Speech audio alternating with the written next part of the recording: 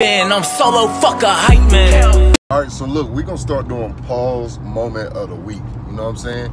Now this one right here is nasty. You hear me? Fucking Flakko, right? Flakko from No Jumper was talking to Almighty Suspect and Sharp about, you know, what they would do in the instance if Dwight Howard tried to rape them, which is already a weird conversation. Shout out Almighty and Sharp though. Y'all ain't y'all ain't did nothing wrong. Listen to what this nigga Flakko said he'd do if Dwight tried to rape him, cuz.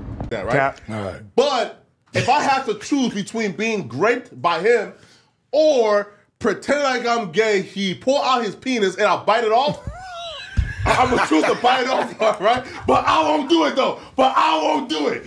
I won't do it. You feel me? like Flakko, Flakko, you wrong for that one. That's nasty. For your mind even to go there, it's kind of weird, bro. Because just just as a man, I, and shout out to you know people who like that. I ain't got nothing against y'all. Y'all do what y'all do, you know, you know. But bro, like, really, my nigga, like, why would you? I can't even fix my like. That thought can never even fit in my head. Like, bro, what you want? Like, Flakko.